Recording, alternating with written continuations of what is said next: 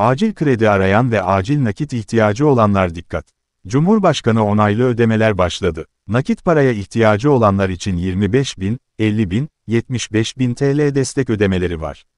Türkiye'deki ekonomik kriz tüm vatandaşları olumsuz etkilemeye devam ediyor.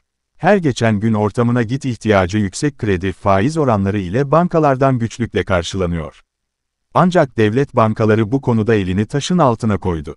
Ziraat Bankası ve Vakıfbank'ta düşük faizli yeni kredi paketleri Ocak ayı için hazırlandı. Cumhurbaşkanı onaylı ve talimatlı düşük faizli kredi fırsatını değerlendirmek isteyenler Ziraat Bankası ve Vakıfbank'a hemen başvuru yaparak nakit ihtiyacını karşılayabiliyor. Ocak ayının yeni kredi paketlerini duyuran kamu bankalarında farklı limitlerde kredi desteği sağlanıyor, 25 bin, 50 bin, 75 bin TL olarak hazırlanan yeni kredi paketlerine başvuru yapmak için banka şubelerine de gitmeye hiç gerek yok. Yapmamız gereken tek şey dijital bankacılık hizmetleri aracılığı ile başvuru işlemlerinizi tamamlamak anında nakit ihtiyacınızı karşılamak.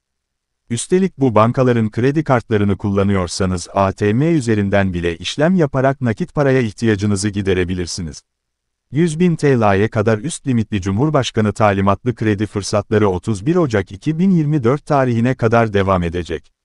Kredi paketlerine başvuru yapanlar 50 bin TL'ye kadar kredi kullanmak istemeleri durumunda 36 ay vadeli ödeme alabilirken 100 bin TL'ye kadar ise 24 ay vadeli ödeme almaya hak kazanacak. Ziraat Bankası ve Vakıfbank'ın yeni kredi kampanyasında başvuru şartları da netleşti.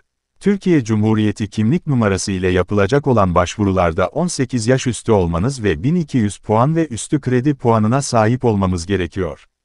Aynı zamanda bankalara gecikmiş borcunuzun olmaması da aranan diğer şartlar arasında yer alıyor. Emekliler ve asgari ücretliler bu kampanyalarda daha avantajlı oluyor.